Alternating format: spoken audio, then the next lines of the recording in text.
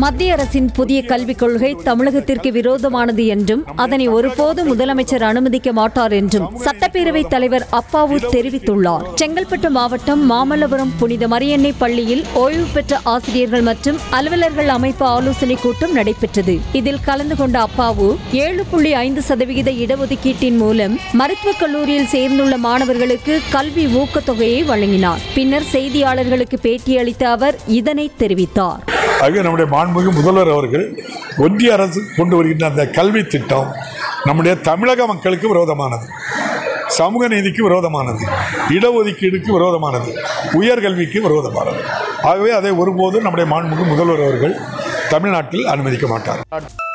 ஒரு நாள் பத்து தலைப்புகள் நூறு செய்திகள். இன்றைய செய்திகளின் அசத்தலான ஒரு மணி நேர தொகுப்பு செய்திகள் நூறு. நாள்தோறும் காலை ஆறு பத்து மணிக்கு மற்றும் இரவு ஒன்பது மணிக்கு நமது நியூஸ் தமிழ் தொலைக்காட்சியில் காண தவறாதீர்கள்.